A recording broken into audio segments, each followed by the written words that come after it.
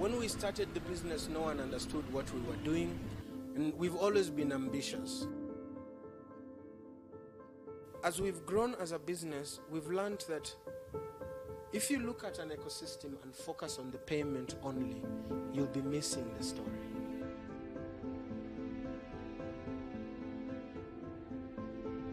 We've been able to um, work very well with PesaPal. Um, my guests are happy, and when they're paying me, I'm happy. yes.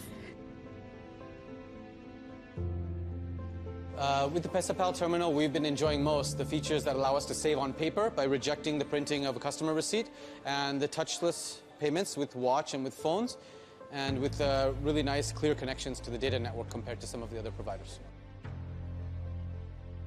We are challenging or encouraging people who have ideas. They say it takes a village.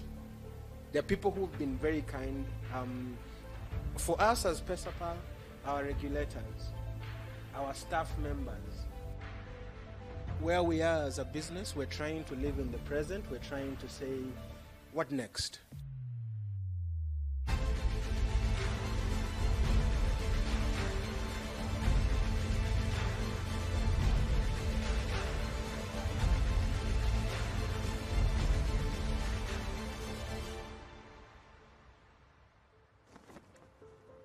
We are here for good and for long.